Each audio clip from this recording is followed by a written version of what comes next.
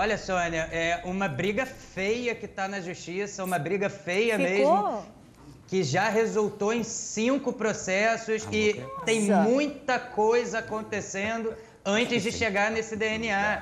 Inclusive já com sentença, já com, com ações ganhas e perdidas. Então eu queria explicar, Sônia, essas quatro ações que tiveram antes da gente chegar nesse exame aí de DNA, se você me Sim, permite, sim. para o telespectador pegar essa história completa. A gente está falando, Sônia, de uma briga Hum. em torno de um patrimônio de 10 milhões de reais, né? Meu Deus Deixado do aí céu. pelo Emílio Santiago após seu falecimento aí decorrente de um AVC, né? Uhum. Em 2013. E o que, que então, acontece, deixa eu só falar uma coisa. Eu acho que para os telespectadores que estão sintonizando agora, talvez tenham uma ideia da gravidade da situação se a gente colocar que ah, suposto filho de cantor famoso briga na justiça por um patrimônio de 10 milhões de reais, por reconhecimento, né? E um patrimônio de 10 milhões de reais. Alguma coisa por aí, eu acho que deixa mais claro aí para o público. Diga. É isso mesmo, Sônia. E o que acontece? Assim que o Emílio faleceu, o Alexander Nunes, né, apareceu é, dando ciência que seria um filho ainda não reconhecido.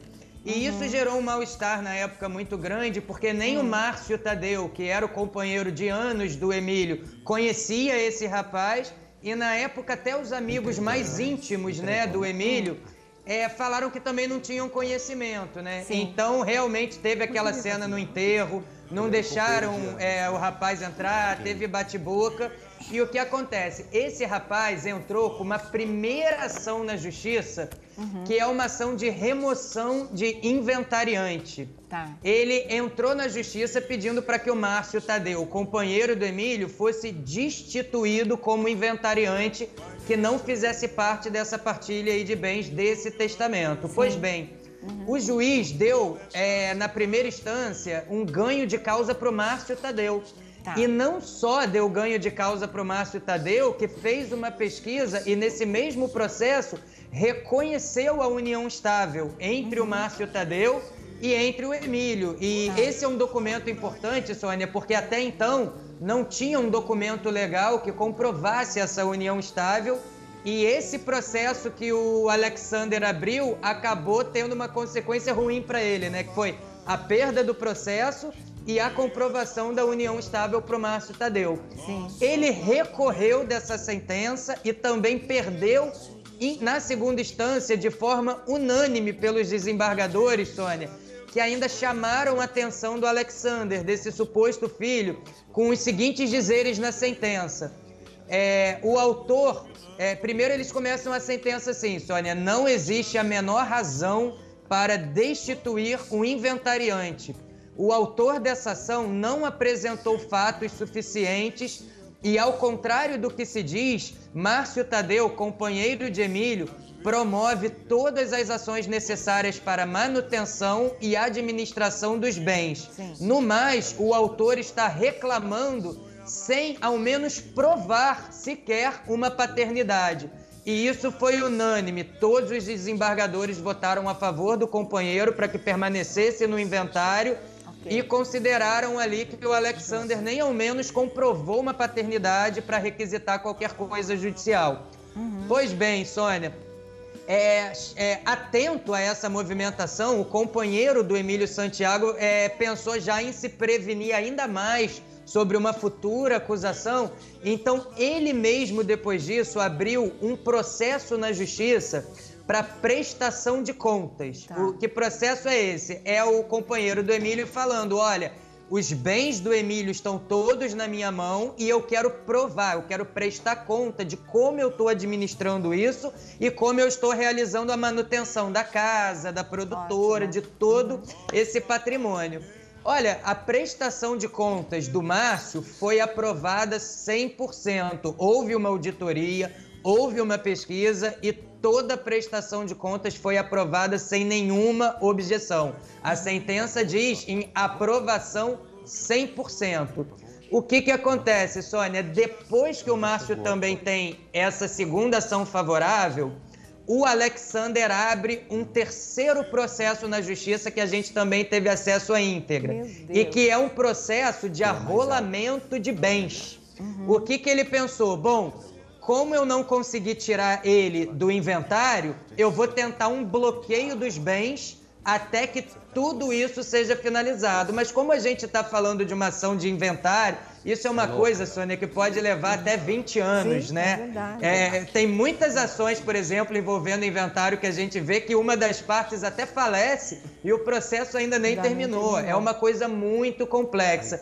Então, uhum. o, que, que, o, o que, que o Alexander pensou? Vou abrir esse processo para ver se pelo menos eu consigo que ele não usufrute desses bens. E aí fez essa abertura desse processo de arrolamento de bens. Uhum. E aí o que, que ele pede nesse processo? Que todos os imóveis do Emílio fossem lacrados, tanto a casa quanto a produtora do Emílio fossem lacradas pela justiça, e também um bloqueio em todas as contas bancárias com ativos deixado pelo Emílio. Certo. Isso foi negado pela justiça. Na sentença que a gente teve acesso, o juiz alega. Primeiro, o juiz questiona se em algum momento ele já comprovou a paternidade para pleitear alguma coisa.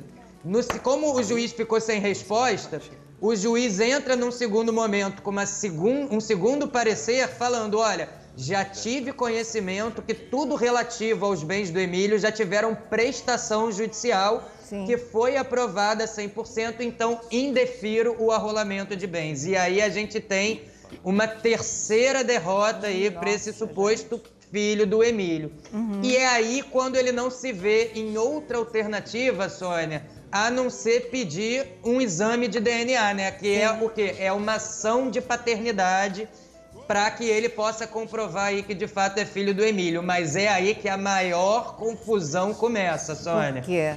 Inclusive com esse papo, teve exumação, não teve exumação do corpo do cantor para que fosse feito o exame de DNA. Como é que tudo isso começou a se desenrolar? Pois é, é, é, esse papo de exumação, ele começa de que forma? Ele entra na justiça e pede, né, um processo de paternidade. Sim. Só que quando ele abre esse processo de paternidade, ele já apresenta um exame de DNA, um suposto exame de DNA que teria sido feito entre ele e uma irmã do Emílio, que ele mantinha uma amizade, que Sim. também era uma suposta irmã, que até faleceu ao longo desse processo, então não faz mais parte desse processo.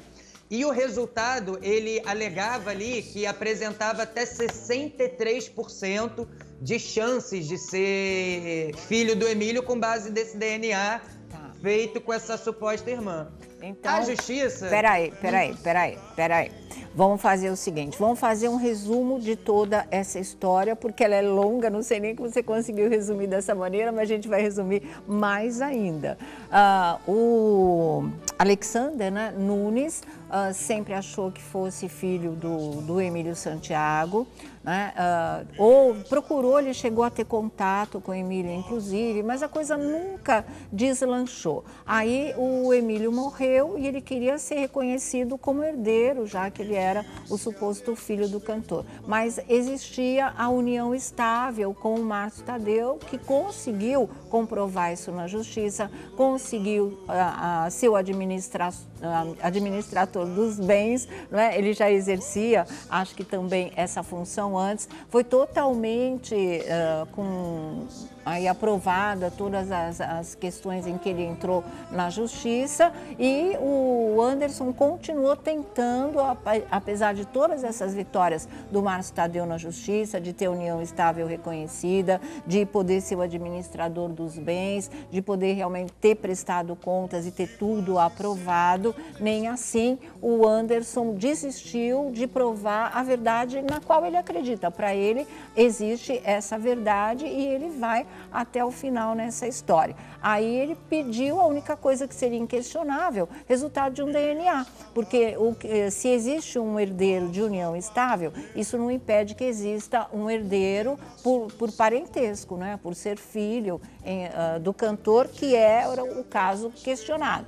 Aí é que entrou um primeiro exame de DNA. E aí é que entrou o atual, que já já, daqui a pouquinho, o Alessandro Lobianco vai eh, revelar o resultado para vocês. Esse resultado é muito decisivo nessa história. Talvez aí possa se resolver de vez essa luta, porque é uma luta na justiça e como o Alessandro Lobianco estava falando, é inventário e assim, de repente, vai mais de 20 anos nessa história. Então, se se esclarecer tudo agora, a coisa já se resolve, né? Não precisa esperar aí décadas, quem sabe, para ver quem é que pode colocar de fato a mão nessa herança ou não. Resumir, Alessandro? Alessandro, acho que ele até dormiu. dormiu. Né? Acho que ele até dormiu. Bom, a gente tem um trecho dessa história, já já a gente reconecta aí com o Alessandro, mas é o momento do adeus mesmo. Quando Emílio Santiago morreu, ele teve um velório aberto ao público no Rio de Janeiro. E claro que o Anderson foi para lá, né? O Alexander foi para lá. E aí o que aconteceu? Aquele bate-boca né, em frente ao caixão do Emílio Santiago, porque não aceitaram a presença dele lá. Não sei nem se foi o próprio Márcio Tadeu, mas alguém foi lá né, e falou, deu a mão e falou: e aí? Uh, muito prazer, foi o assessor, né? Eu te conheço? Quem é você para estar tá aqui? E a coisa foi mais ou menos nessa base, como você vai ver agora. Vamos lá. Toda esta cidade o Soca, secretário dele. Você me conhece? Eu também não te conheço, nunca te vi, Alex. Prazer. Prazer, Prazer, tá, Alex? Tô... Estamos nos conhecendo nessa hora, né, Alex? conhecer assim nessa hora tão triste. Ele conheceu seus filhos já? Conheceu. Você falou quando? Conheceu. Quando? Conheceu. Se você é secretário, você de repente deve ter comentado alguma coisa, não? Como secretário, eu nunca isso comigo, Alex. Impressionante. Tivemos contato sim, ele conheceu os meninos sim, nós tivemos contato sim, almoçamos juntos sim, isso sim. Não queria estar aqui, não era minha intenção nenhuma estar aqui. Queria que ele vivesse mais 20, 30 anos. Eu nunca na vida ia aparecer na televisão para falar nada. Porque não era interesse meu vir para cá para quê? Para aparecer? De maneira alguma. Mas eu estou aqui hoje para poder tentar estar perto no último momento dele. E aí foi o que foi, como vocês viram, o assessor, ironicamente, dizendo eu te conheço, e desde quando? E realmente tendo toda aquela atitude muito imprópria para um momento como aquele, um momento de adeus, um momento de despedida, a cabeceira do caixão do Emílio Santiago. Tudo bem, todo mundo fragilizado, chocado, triste, realmente. Às vezes você perde a noção das coisas, mas que isso deixou uma marca no Anderson, aliás, no Alexander, com toda certeza, viu? Bom, a gente tem mais algum momento momento para mostrar, posso falar com os nossos convidados, o Lobianco voltou, então vamos para o Rio de Janeiro, mas o Vladimir Alves está aqui, Thiago Rocha aqui, né? o Felipe Campos também, já já eles dão a opinião deles sobre essa história e já já o resultado do DNA, o atual, que pode ser a solução desse drama aí, que se estende já, ah, eu não sei, não me lembro a data em que o Emílio morreu, mas já já a gente fala para vocês, 2013. e desde lá quanto? 2013, 2013. também 2019, seis, seis anos, anos praticamente, né, uma história que é, é, é bem pesada, é bem ruim de se viver, na verdade. Diga, Alessandro. É, só, só é, é, é, reforçando o resuminho que você fez rápido, Sônia. Sim. Então a gente falou aqui de quatro ações, Sim. né, que já estão que já aconteceram na justiça. Três que já tiveram resultado e uma que está que tá, né, em, que tá ativa aí na justiça. E as a três, primeira, as três é, a, contra, o resultado foram contra o Alexander, contra né? Contra o Alexander, isso. Rapidamente tá. relembrando, a primeira ação, ele entrou pedindo a remoção do Márcio Tadeu como inventariante. Perdeu na primeira instância, recorreu, não só perdeu, como o Márcio Tadeu acabou tendo a união estável reconhecida nesse processo. Tá. Numa segunda movimentação jurídica, o Márcio entra na justiça pedindo uma transparência com sua própria prestação de contas de forma voluntária e essa prestação é aprovada pelo juízo 100%. Tá. Uma terceira movimentação jurídica é quando o Alexander tem conhecimento ali que o Márcio está com a administração total dos bens, inclusive dando transparência à justiça, e ele pede o bloqueio desses bens e que sejam lacrados os imóveis do Emílio. Mais uma vez, a justiça o questiona sobre não apresentar nenhuma comprovação de que é filho e derruba todos os pedidos e dá mais uma vez o ganho de causa para o Márcio Tadeu. E aí a gente entra nessa quarta movimentação processual, que é a paternidade, que a gente vai explicar aí logo mais. Certo. Lembrando, né, o Lobianco pode confirmar isso, que esse patrimônio, essa herança disputada é de 10 milhões de, milhões reais, de reais, certo? 10 milhões de reais. Antes de você uh, entrar nessa quarta fase, que é a atual, né, Alessandro, deixa eu só pegar aqui a opinião dos nossos convidados. Muito que situação boa tarde, complicada, né? Não é a primeira... Isso e nem a última vez que a gente vê barraco em velório. Nada. E, nossa, porque Não, é uma né? coisa assim desagradável. Eu fico pensando porque assim, é, durante toda a trajetória, durante toda a vida do Emílio Santiago, ele nunca fez questão de se declarar homossexual. Sim. Em entrevistas, ele falou, gente, sou um artista, levo a minha vida do jeito que eu tenho que levar. Tanto que tem um documentário que vai ser lançado ainda este ano, hum. que eu estou pensando no futuro desse documentário, que vai poder depois desse DNA, Exatamente. é o Emílio Santiago e as Sete Aquarelas, que quem é o historiador Marcos Rosa, que está idealizando esse projeto, ele já foi autorizado a arrecadar 1 milhão 406 mil reais uhum. para finalizar este documentário, que inclusive não sei se eles conseguiram gravar depoimentos com Beth Carvalho, que estava inclusive ah, no roteiro. Tá, não claro, sei, né? preciso falar com o Marcos. E o Paulo Fontinelli, que vai ser o diretor. Agora, vai mudar essa situação. Pois é. Porque dependendo do que sair no DNA, uhum. é, tem um embrólio do, da, da, irmã. Sim. Tem a questão do filho uhum. e tem a questão do companheiro. Eu acho que juntando tudo isso, esse documentário vai ter que ou ser adiado Sim, ou, ou vai ter, ter que um alterar alguma final, coisa. Vão ter que alterar o final do roteiro com toda certeza. Rapidinho, o embrólio da irmã, não, porque a gente está falando é, só já... do parceiro. É, foi o que teve, assim, durante toda a vida dele. Uhum. Eles quiseram trazer uh, no documentário tudo o que aconteceu. A tá. irmã que apareceu naquela história, é uhum. ou não uhum. é, foi reconhecida, não foi. É, e esses outros dois, Quer que é a questão do uhum. filho, que pode ser resolvida hoje. Sim, exatamente. Do e, e, do, do, do, parceiro, né, que já foi resolvida. Isso ele é, é, realmente reconhecido como herdeiro por conta da união estável, uma coisa que é muito justa, por sinal.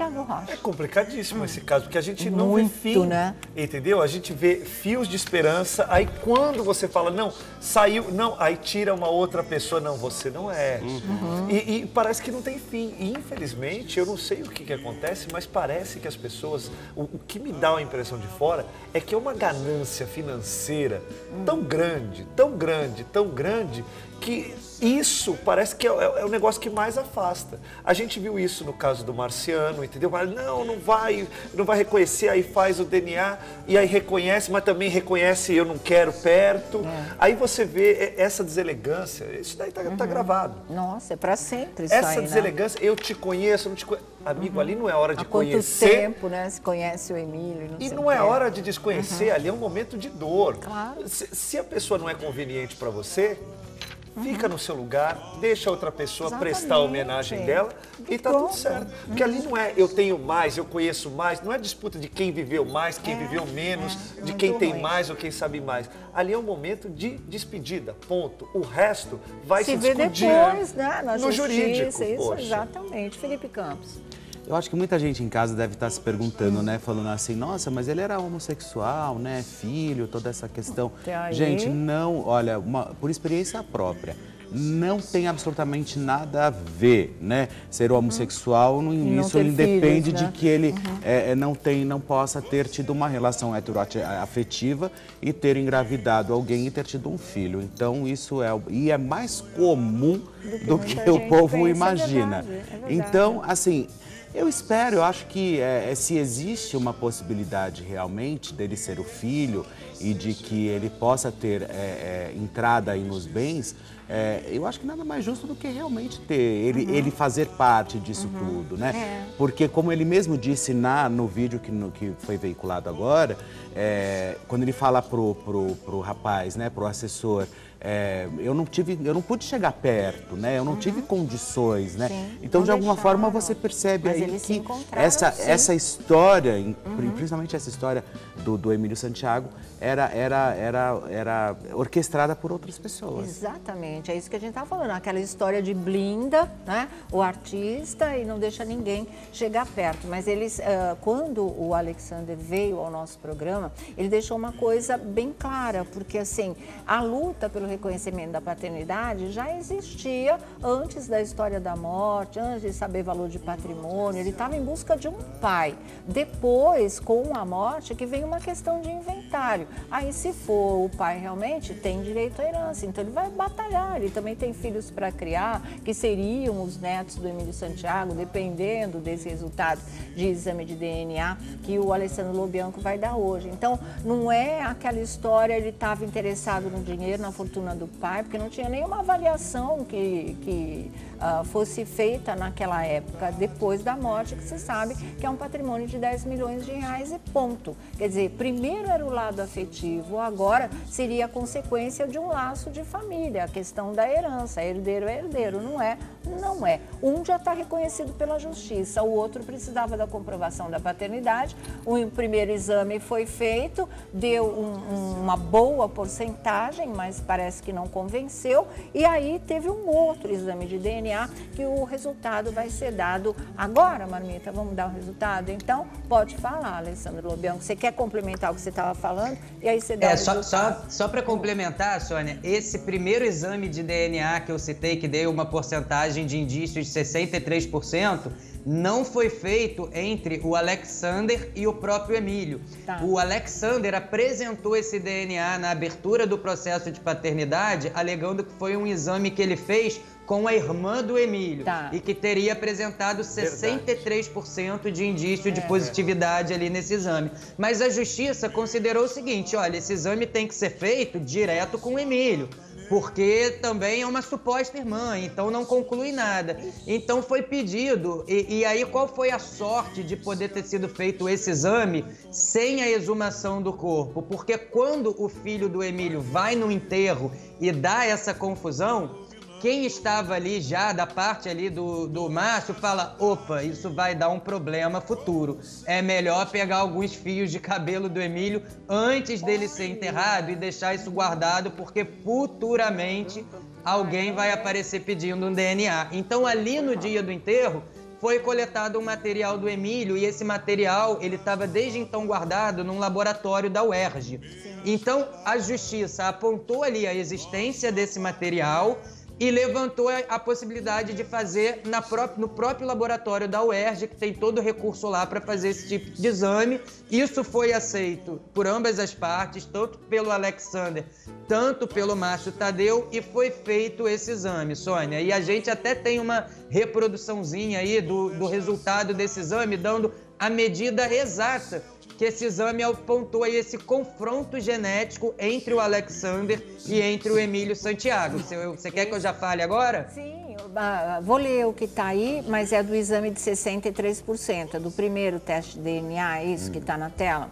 Enquanto o laudo do laboratório conveniando da UERJ em face de confronto de material colhido das mesmas pessoas indica o índice cumulativo de concordância na ordem de 0,3, que, segundo a advogada, corresponde a cerca de 20%, restando é inconclusivo a favor ou contar a ocorrência de vínculo genético. Né? Então, 63% que consta aí, olha, é o resultado do exame anterior. E esse Isso. que você está vendo aí é o resultado do último exame que ao invés de 63% de, de possibilidade de ser filho, uh, uh, indica apenas 20%. É, o que na, dá... na verdade, Sônia, ah, é, nem chega a 20%. Eles falam menos de 20%, porque men é 20% já seria ali um, um piso. A gente pode dizer assim, um piso para você fazer essa medição. Mas na verdade foi 0,131. Ou seja, negativo, é 100% negativado. Mas aí a gente inicia, Sônia, após esse resultado, uma nova briga judicial. Peraí, peraí, então, peraí. É, eu também não que é o seguinte, teve o primeiro resultado, a margem era grande, aí se pediu um segundo exame, é. que seria diretamente com material do material genético do Emílio, do Emílio Santiago.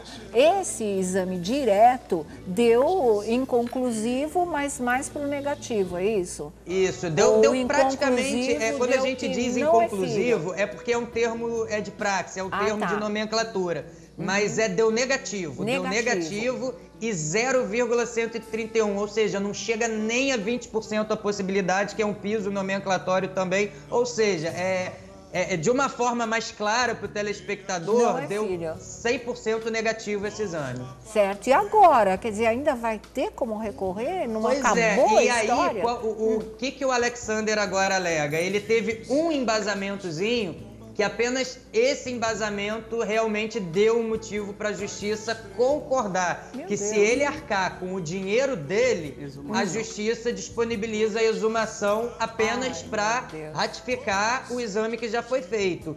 Que ele alegou o seguinte: Porque ele tenho... alegou ah. que o companheiro do Emílio da aula, é professor da UERJ, de um determinado campus da UERJ, e que isso invalidaria todo o teste porque ele suspeita que pelo fato do companheiro do Emílio ser professor da instituição, possa ter havido uma manipulação ali com esse resultado. Você sabe Isso... que... Não, pode falar. É que eu tenho uma dúvida, mas já já eu coloco. Fala.